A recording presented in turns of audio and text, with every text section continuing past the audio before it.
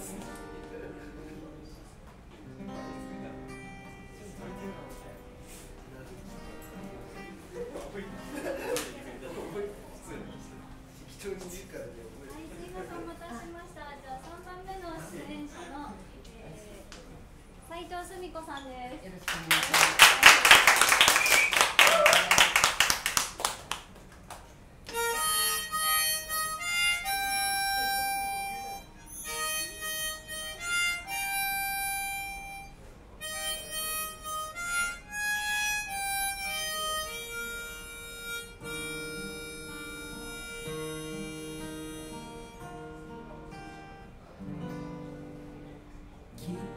君のリクエストだろう。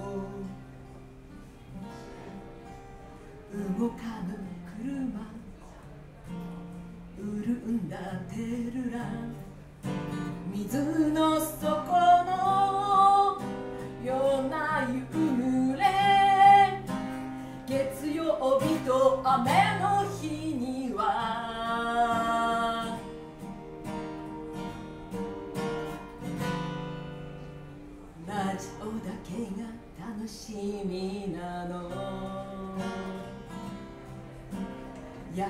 は嫌い古い歌が好き。暗い明かりキッチンの隅で同じ歌を聴いてるのか。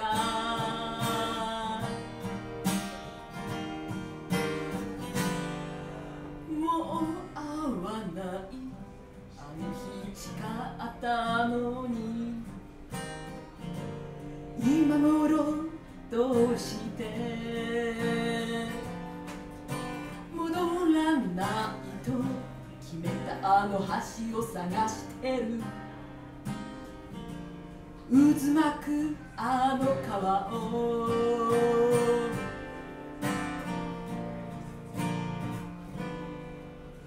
やはり僕のイニシャルだったはきの終わりに。添えた宛名は君の涙。誰も知らない。月曜日と雨の日には。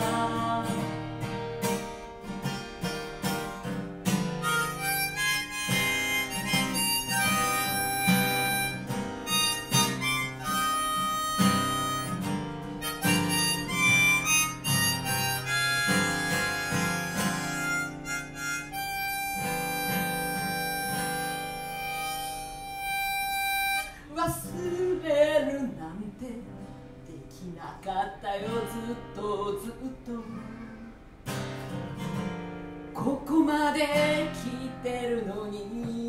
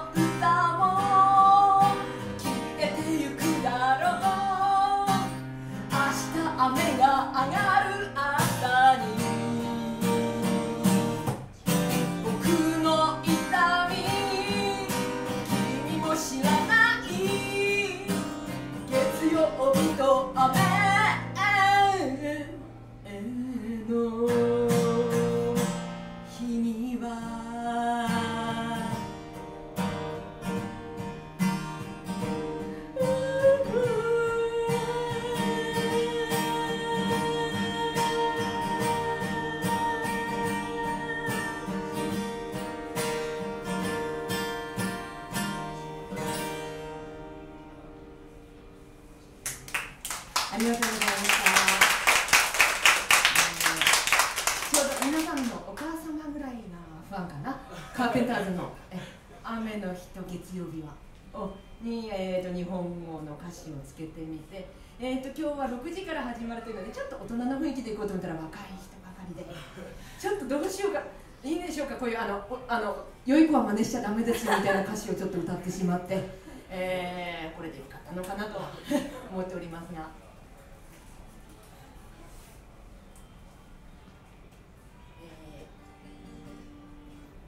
うん、十年前は私も高校生でございましたので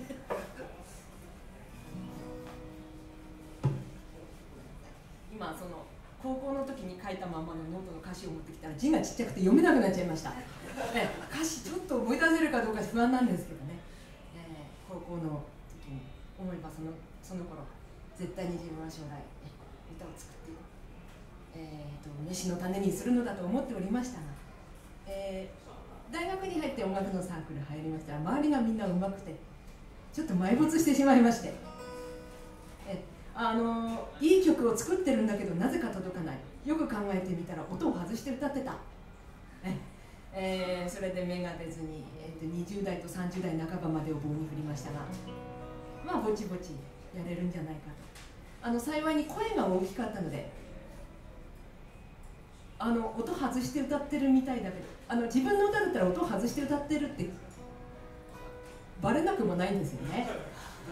でどうやらなんかちゃんと、えー、まともな歌詞を歌ってるらしいと声の大きさのおかげでやっと分かってもらえるようになりました。将来を夢見て高校の時に作ってこの歌は今日まで、えー、私の、えー生き方を支えてまいりました。もう一度人生を始めてみよう。と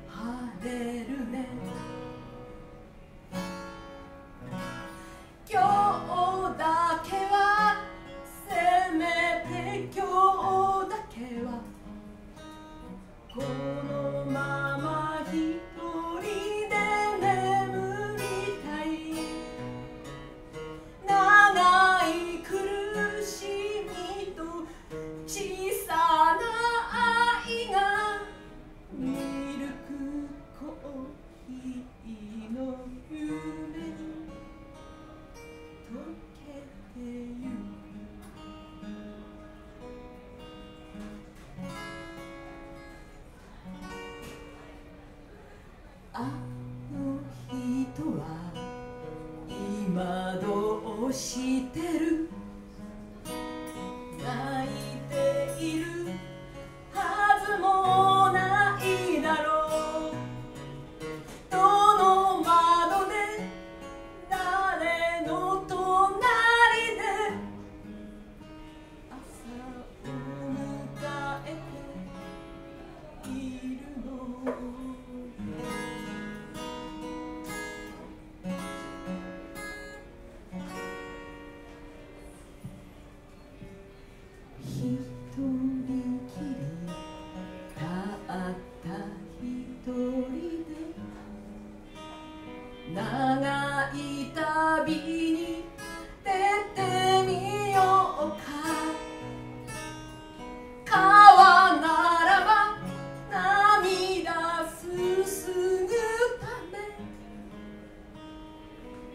なら砂に埋めるため